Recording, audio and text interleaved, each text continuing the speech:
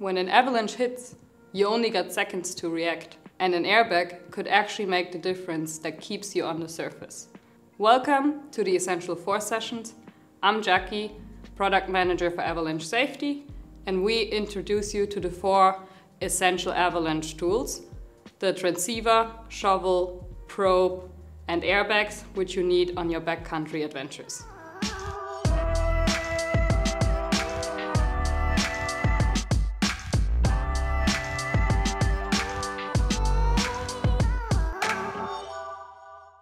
In this episode, together with mountain guide and freeride athlete Nadine Wallner, we will have a look on how airbags actually work, what to consider when choosing one, and how to prepare them properly before you head out.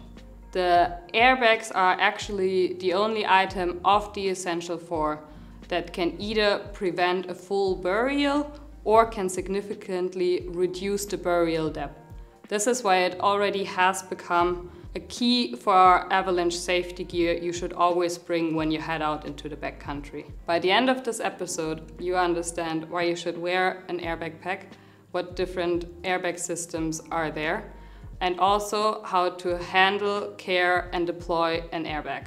Quick heads up, this video is a great intro, but it shouldn't be any substitute for hands-on avalanche training. Always practice before heading out. So let's get started. So why use an avalanche airbag? Well, it's simple. An airbag can increase your survival in an avalanche.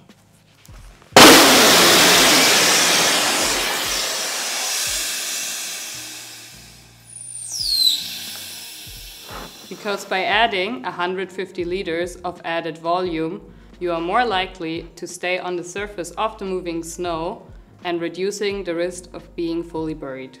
The idea is based on a principle called inverse segregation.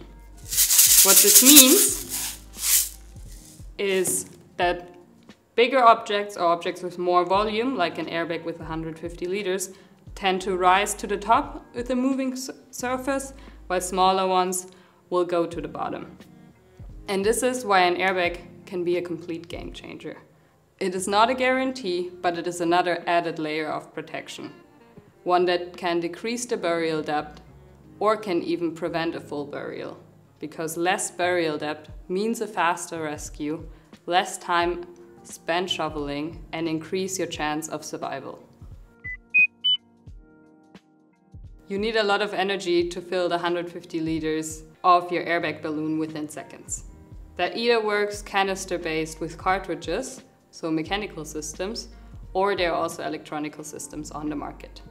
The Mammut Removable Airbag System 3.0 is a mechanical system based on canisters. Also, since it's removable, you can interchange the system between different airbag packs. The Mammut avalanche airbags are designed for different activities in the backcountry.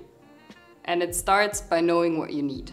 So let's start with the pack size. If you're usually free riding in lift access terrain, or if you go on small touring days or if you really know how to pack, a 20 to 22 liter version is the perfect option for you.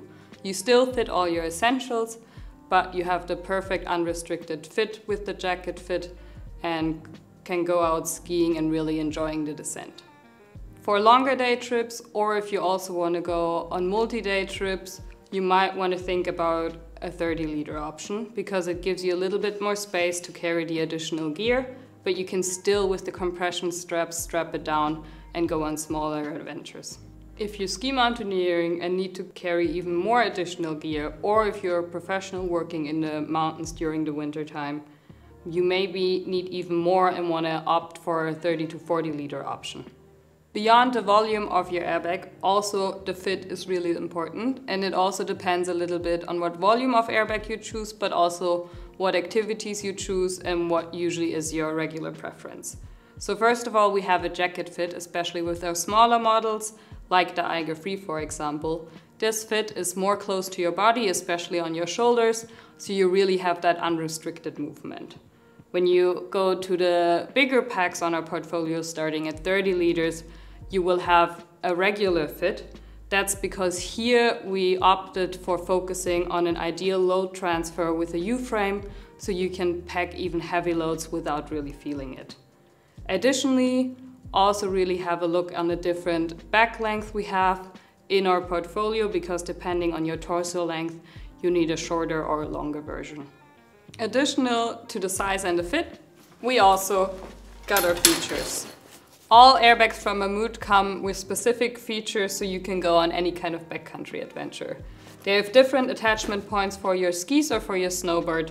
They come with additional attachments for your poles or ice axes. There's a helmet holder as well, so you can attach your helmet. And all packs, except the Eiger Free, also have a bright orange avalanche safety compartment where you can store your probe and your shovel shaft as well as the shovel blade for quick access. So, to summarize, Mammut has a lot of different airbag options available. So make sure to choose the pack that fits the volume, fit and also features that you need and have fun out in the backcountry with it. An avalanche airbag can be a life-saving tool, but only if it's installed and used correctly. So let's have a look on how you get it ready for the season. I'm joined by Nadine, thanks for coming. And let's have a look at the basics. First of all, if you buy a Mammut airbag, it usually already comes with the system and you just have to buy your cartridge and screw it in fully before you head out for the season. Our Mammut airbag system is removable, so you can switch it to another Mammut airbag. Just follow the installation steps in the user manual. Before heading out for the season, take a few minutes to inspect your backpack. So visible damages uh, or like signs of wear, like um, faded fabric of UV exposure. Really important, weigh your cartridge before the season without the cap. So it's in the correct range. This one is good. Also check the handle, if it's still good. And uh, every system comes with this test tool trigger, where you can test like how to pull and trigger the system. Should sound like this. And after that, the most important thing is screw in the cartridge fully. And that means it should be seamless to the system where you screw it in. The end is a little bit harder to screw and then you keep going, keep going until it's fully screwed in. So it's seamless here and you're ready to go. Fit is just as important as function. So adjust your backpack step by step. So adjusting the shoulder straps, secure the chest strap. Most important, get the leg loop, lift the hip belt tight on you.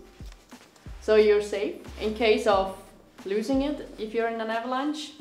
And uh, everything should feel tight but still free to move. As soon you're in the backcountry, the handle should be out, so it's ready when it's needed. If you're caught in an avalanche, don't wait. You have to act fast. Reach across your body with one hand, if possible, with the second hand as well. It inflates in seconds.